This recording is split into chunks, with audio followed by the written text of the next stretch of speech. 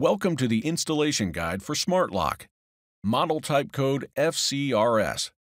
The Flare Connector Reducer Special. Important installation information.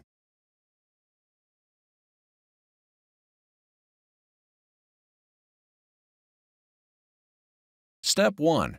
Place the marking gauge over the tube, using the guideline. Mark as indicated. Step 2. Connect the fitting to the flare valve. Step 3. Hand tighten the fitting until it stops. Step 4. Remove the positioning strip. Step 5. Wrench tighten the torque nut only. Wrench tighten until there is no gap. Step 6. Insert tube into the tube nut. Marked line 1 should be aligned or near the end of the fitting. Step 7. Hand tighten the tube nut. Step 8.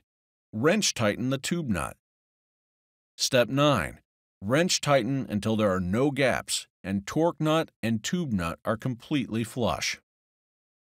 Thank you for using SmartLock fittings. Your high pressure quick connect solution.